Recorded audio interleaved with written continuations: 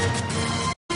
Telangana EAMCET counselling పై గందరగోళం నెలకొంది. ఈ నెల ఇరవై నాలుగున కౌన్సిలింగ్ ప్రక్రియ ప్రారంభమైంది. రేపటి నుంచి వెబ్ ఆప్షన్స్ సర్టిఫికేట్ వెరిఫికేషన్ జరగనుంది. అయితే ఇప్పటివరకు కౌన్సిలింగ్లో పాల్గొనే కాలేజీలపై ప్రభుత్వం స్పష్టత ఇవ్వలేదు. ఫీజుల నిర్ధారణ కాకపోవటమే దీనికి కారణమని తెలుస్తోంది. గతంలో ఫీజుల విషయంలో కొన్ని కాలేజీలు కోర్టుకు వెళ్ళాయి కోర్టు కూడా కళాశాలలకు అనుకూలంగానే తీర్పు ఇచ్చింది. కానీ కోర్టు కాపీ అందలేదని అధికారులు చెబుతున్నారు. కోర్టు తీర్పు కాపీ అందిన వెంటనే నిర్ణయం తీసుకుంటామని అంటున్నారు. దీంతో వెబ్ ఆప్షన్స్ ప్రక్రియ వాయిదా పడే అవకాశం కనిపిస్తోంది. మరోవైపు ఈ వ్యవహారంపై స్పందించేందుకు అధికారులు నిరాకరిస్తున్నారు.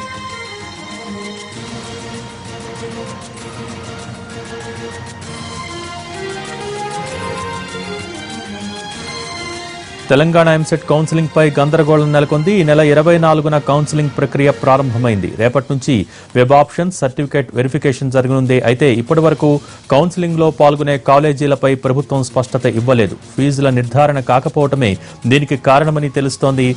గతంలో ఫీజుల విషయంలో కొన్ని కాలేజీలు కోర్టుకు వెళ్ళాయి కోర్టు కూడా కళాశాలలకు అనుకూలంగానే తీర్పు ఇచ్చింది. కానీ కోర్టు కాపీ అందలేదని అధికారులు చెబుతున్నారు. కోర్టు తీర్పు కాపీ అందిన వెంటనే నిర్ణయం చేస్తామని అంటున్నారు. దీంతో వెబ్ ఆప్షన్ ప్రక్రియ వాయిదా పడే అవకాశం కనిపిస్తోంది.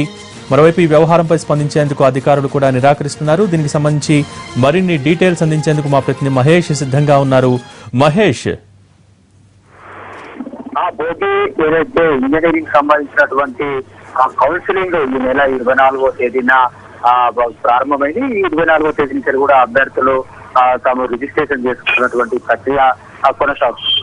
రేపటి నుంచి వెళ్ళి అభ్యర్థులకు సంబంధించినటువంటి ఆ సర్టిఫికేట్ వెరిఫికేషన్ అదేవిధంగా వెబ్ ఆప్షన్స్ ఇచ్చుకునేటువంటి ప్రక్రియ ఆ, రేపు ప్రారంభం కావాల్సింది. అయితే ఎక్కడ ఎప్పుడైతే వెబ్ ఆప్షన్స్ ఇచ్చుకునేటువంటి ప్రక్రియ ప్రారంభమై ప్రారంభమైతే ఏ ఇంజనీరింగ్ కాలేజీల్లో సీట్లు ఎన్ని ఉన్నాయి? ఆ ఎక్కడ ఏటికి దీనికి సంబంధించి ఎంత ఫీజు ఆ కాలేజీ వసూలు చేస్తున్నటువంటి విషయాన్ని ఆ ప్రభుత్వం ఉన్నత విద్యామండలి ప్రకటించాల్సి ఉంటుంది. అయితే ఇప్పటి వరకు కూడా ఎంసెట్ సంబంధించినటువంటి ఎన్ని కళాశాలలు కౌన్సిలింగ్లో పాల్గొనబోతున్నాయి పాల్గొనబోతున్న ఎన్ని కళాశాలలకి అనుమతి ఇవ్వడం జరిగిందన్న దానితో ఇప్పటి వరకు ప్రభుత్వానికి కానీ ఉన్నత విద్యామండలికి కానీ స్పష్టత లేదన్న దీనికి ప్రధానమైనటువంటి ఆ, కారణం కొన్ని కళాశాలలు ఆ, కోర్టుకు వెళ్ళడం జరిగింది.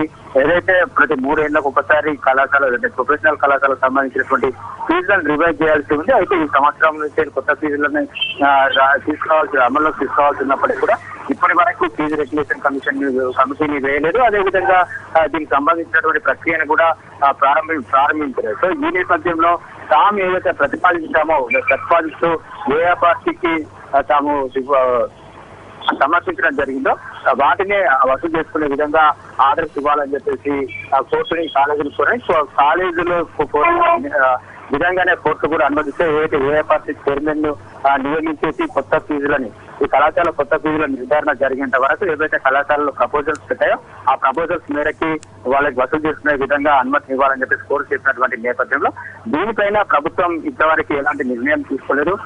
అక్కడికి వెళ్ళాలన్నటువంటి ఆలోచన ఉన్నప్పటికీ కూడా ఇప్పటి వరకు కళాశాల ఈ కోర్టు సంబంధించినటువంటి తీర్పు చేస్తుంది అది తమకు అందినటువంటి నేపథ్యంలో ఇంకా ఎలాంటి నిర్ణయం తీసుకోవాలని చెప్పేసి అధికారులు ఆ, చెప్తున్నారు.